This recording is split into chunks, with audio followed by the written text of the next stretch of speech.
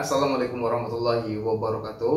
Welcome back Sobat Prima Akut. Selamat datang kembali di channel Prima Akut. Tetap bersama saya Muhammad Azhari Siregar. Dan tak lupa saya selalu ucapkan ribuan terima kasih kepada Sobat Prima Akut semua Yang telah mensupport channel ini hingga akhirnya saya kembali dapat menerbitkan konten-konten terbaru di channel Prima Akut. Oke, setelah pada konten sebelumnya kita merakit start langsung ya. Kali ini kita akan merakit kontrol dengan metode star delta.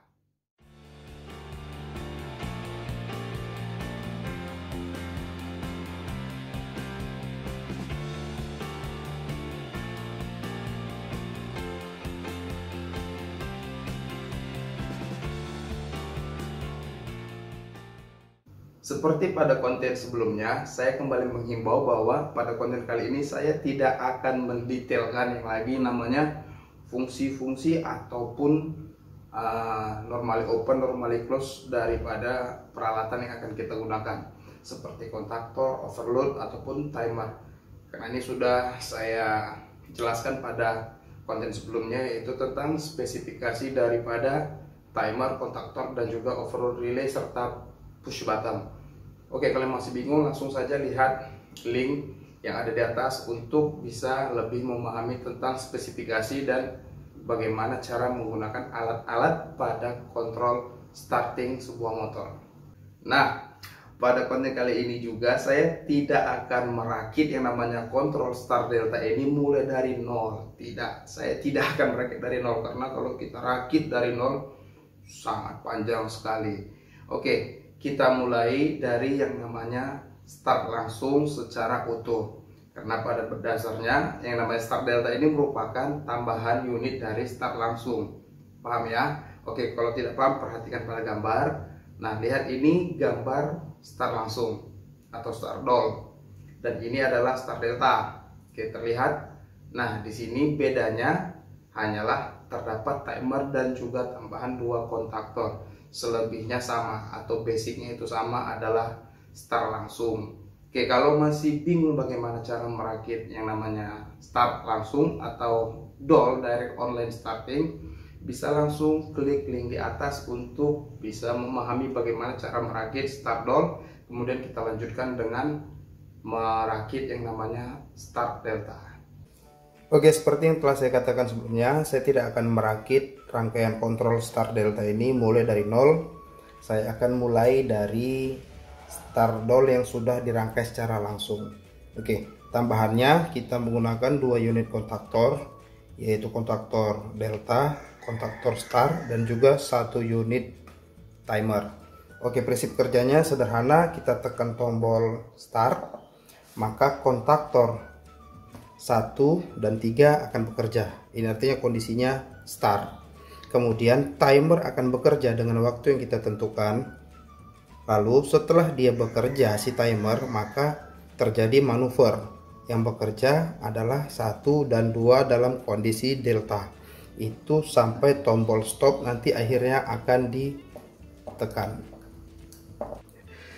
Oke terlebih dahulu saya akan buka dulu timer ini agar kita bisa melakukan koneksi di terminal kaki si timer Oke, hal yang pertama kita lakukan adalah memberikan power ke timer.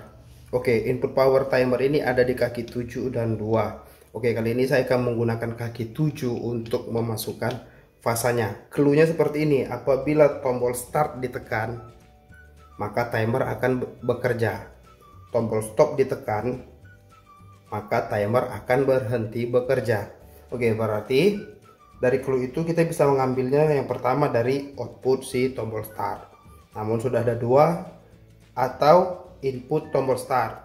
Output tombol start bisa sama A1 ataupun NO.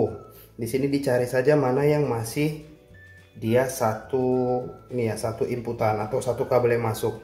Namun karena ini sangat jauh, ya tidak apa-apa karena ini merupakan contoh, saya akan masukkannya dari NO kontaktor menuju ke kaki nomor 7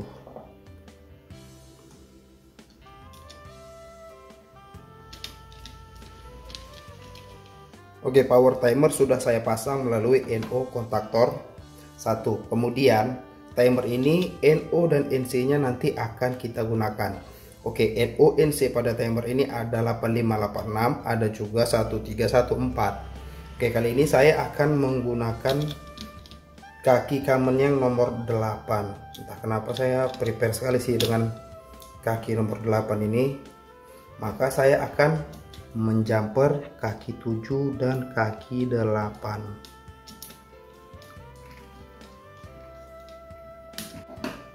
Oke, lalu timer ini juga membutuhkan netral. Netral bisa diambil dari A2 ataupun dari sumber netral ini secara langsung. Oke, kali ini saya akan memasangkan yang langsung dari sumber netral.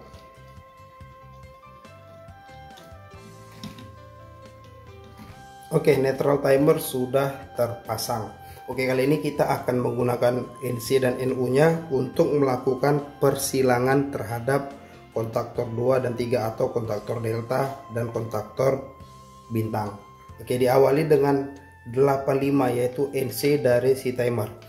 NC timer ini clue-nya apabila dia pertama kali ditekan tombol start oke akan jalanlah si timer ini tapi masih kondisi sebelum energize dengan waktu tunda yang kita tentukan.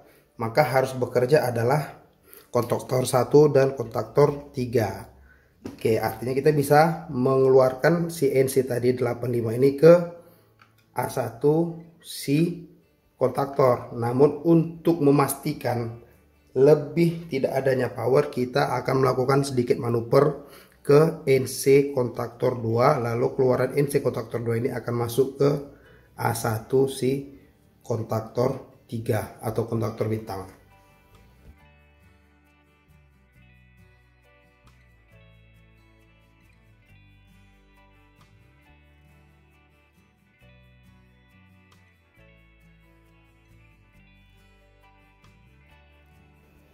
Oke, persilangan pertama pada timer itu dari kaki NC timer ini sudah selesai kita rakit dari 85 menuju ke NC kontaktor 2, keluarnya menuju ke A1 kontaktor 3. Oke, lalu kita akan memasang persilangan berikutnya yaitu dari NO timer 86 menuju ke NC kontaktor 3 lalu keluarnya masuk ke A1 kontaktor 2 atau kontaktor delta.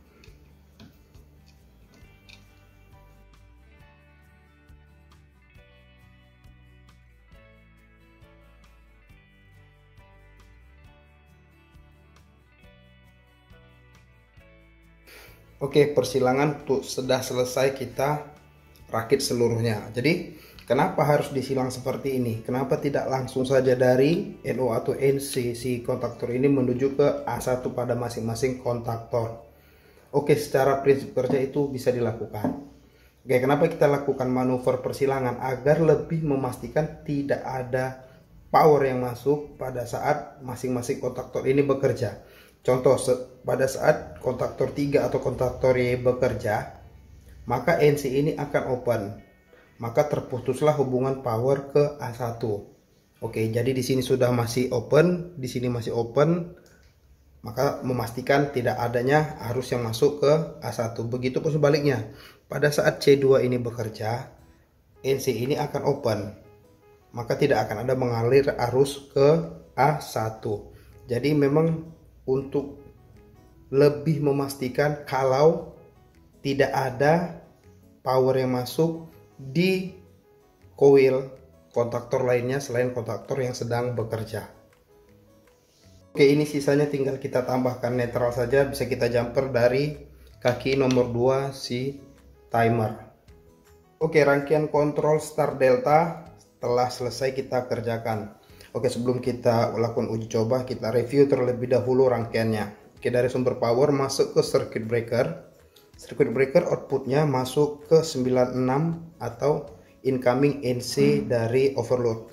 Oke kemudian keluarannya 95 masuk ke tombol start eh tombol stop. Kemudian tombol stop outputnya masuk ke tombol start tombol start masuk ke K1 itu mainline kemudian masuk kita membuat sistem lock yaitu keluaran dari tombol stop masuk ke NO kontaktor 1 lalu keluarannya NO masuk ke A1 atau ke coil kontaktor 1 Oke kemudian dari NO kontaktor 1 masuk ke power timer kemudian kaki 7 7 di jumper ke 8 oke kemudian 85 NC nya 85 masuk ke NC kontaktor 2 NC kontaktor 2 masuk ke A1 kontaktor 3 oke kemudian NO nya 86 dari kaki 86 masuk ke NC kontaktor 3 lalu keluarnya masuk ke A1 kontaktor 2 sistem persilangan.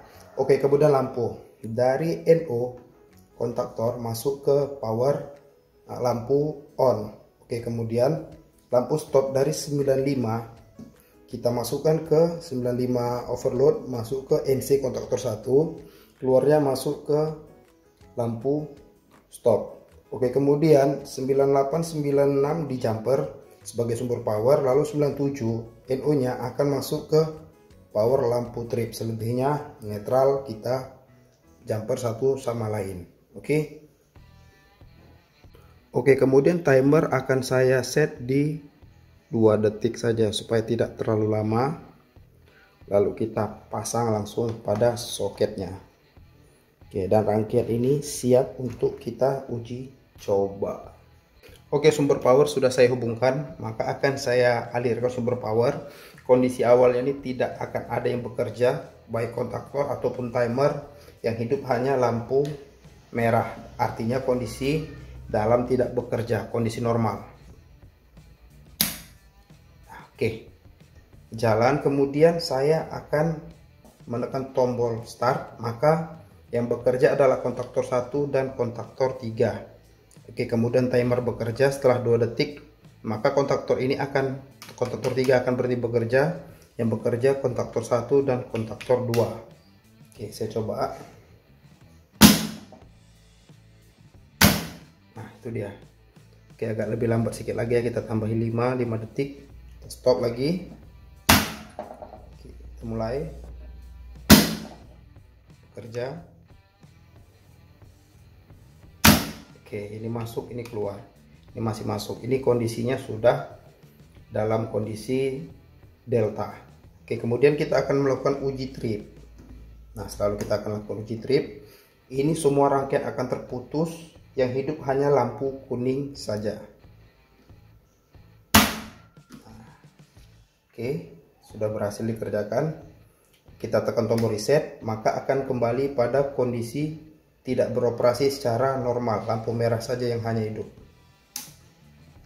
Oke, coba sekali lagi.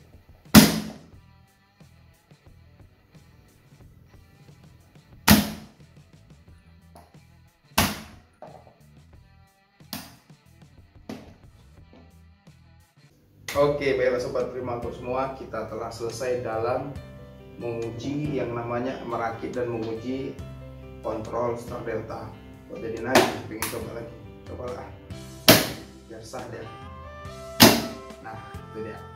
Oke, apabila ada kesalahan ataupun koreksi dapat langsung saja komentar pada kolom komentar dan juga saya mengimbau untuk mendownload buku-buku elektronik Prima Akut dokumen linknya ada pada deskripsi kemudian saya juga mengajak sobat-sobat Prima semua untuk bergabung di Prima Set Center yaitu grup WA di mana tempat kita saling berbagi ilmu pengetahuan, sharing pengalaman, tapi bukan tempat untuk saling sombong.